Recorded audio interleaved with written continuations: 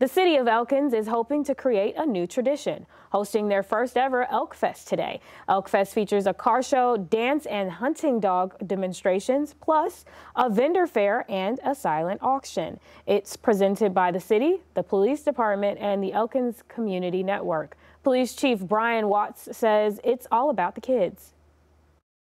We're doing it for the children. We don't like to tell anybody no. We don't like to turn kids away. And honestly, if we have to spend a little bit more money than we actually do, we kind of do.